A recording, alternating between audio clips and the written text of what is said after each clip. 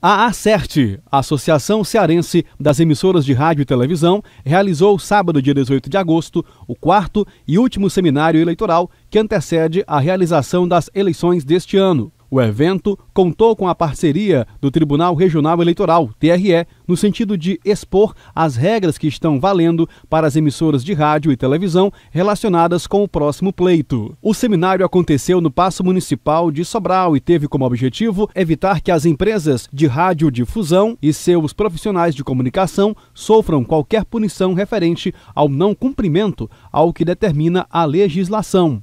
Durante o evento, também foram realizadas palestras com os diretores da ACERT, Afro Lourenço, jurídico, e Gilson Moreira, técnico, tendo no comando o presidente da entidade, o jornalista e radialista Paulo César Norões. Curta nossos vídeos, se inscreva em nossa página no YouTube e não esqueça de ativar o sininho de notificação.